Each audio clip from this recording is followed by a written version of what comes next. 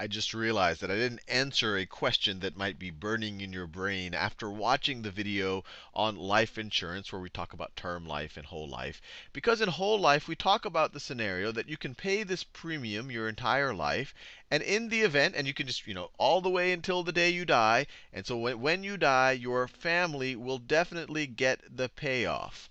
So they will definitely get the 500k upon your death.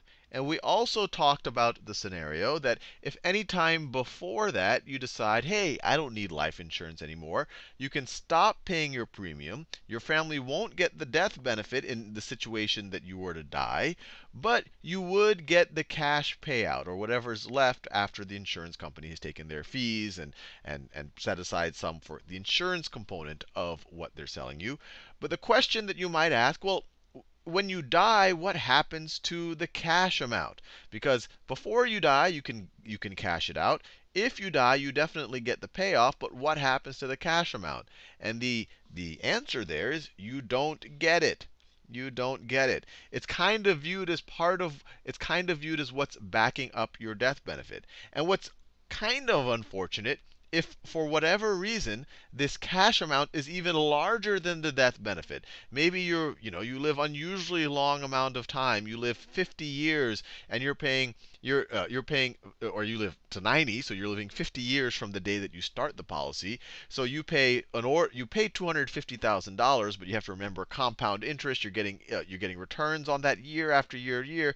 Maybe this cash payout becomes $600,000 when you when you when you accrue all of the interest and everything else in it.